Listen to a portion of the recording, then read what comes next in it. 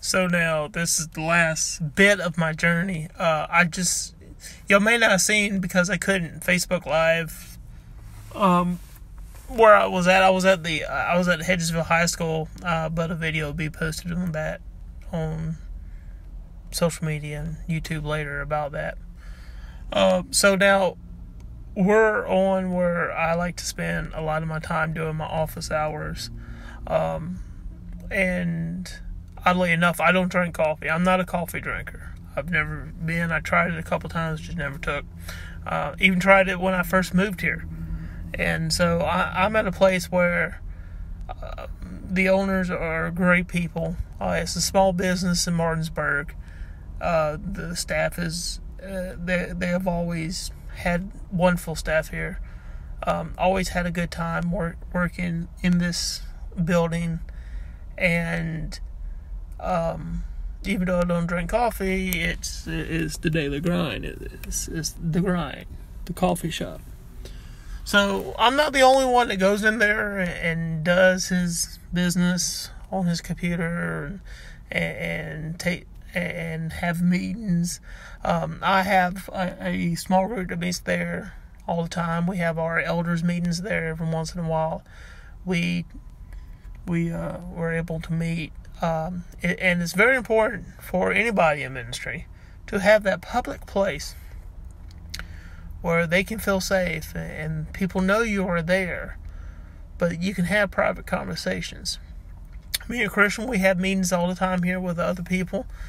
We meet, uh, we we meet here many times and discuss, you know, future plans, future events, um, Bible studies. Um, I, I meet with other students. They they have they have a, a, table in there where there's board games there. So, and as I said, I meet with a group of high school uh, high school and middle school students at six thirty in in one of the private rooms. They don't charge for, but you know I I'll buy the kids a muffin or something and and uh, we'll we'll take the room and and they they'll reserve for us. So. Uh, the Daily Grind is a wonderful small business in Martinburg uh, Martinsburg. Uh, as I say, great owners, great staff. Uh, really been a a a extension of our church many many times, and so uh, as you can see, they're closed now because um, honestly, they just couldn't make enough money to stay open for now. So we're gonna pray for the for the grind. We're gonna pray for the owners uh, because you know they're all in on this. You know, they're they're all in. Um, anybody who does who does any type of business or owns any business, you know, you take a risk, and and they'll look at stuff like your your, your house to get collateral and stuff like that. So the owners had to shut down. Uh, as I mentioned before, great people. So we're gonna pray for the owners. Uh, we're gonna pray for the the staff. We're to pray for uh, people who just miss coming and getting coffee, or as for me, uh, miss the uh, miss the Snickers blended uh, steamers, and you know, um, miss going to work there, miss walking through those doors, miss you know meeting some friends, miss meeting up for uh, business and all that stuff. So let's pray for the daily grind and uh, let's pray that it opens up, opens back up as soon as we're allowed to.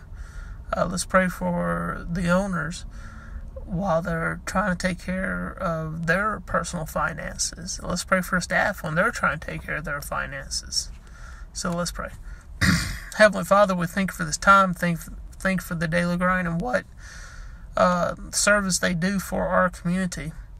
God, we pray for the owners. We pray for that couple that owns this place. And Lord, we pray that you watch over and protect them financially.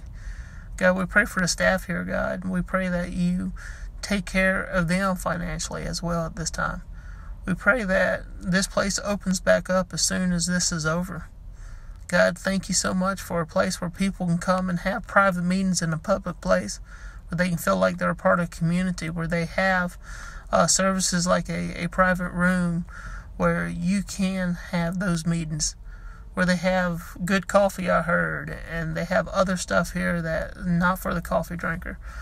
Heavenly Father, we pray for everybody here that uh, invested in this place, and we pray that you reopen it. And at this time, you give those people rest, but God, you help them, and you watch over, and you protect them, and you take away their anxiety of not having this place. Lord, we love you. We thank you for the grind, and we we pray for the time uh, that it just uh, opens back up and we can go as business as usual. We love you and thank you. In name pray. Amen. Alright guys. I am gonna go I think I'm I don't know if I'm gonna go to Walmart. Anyway, I'm gone. I'll see y'all later. Alright, bye.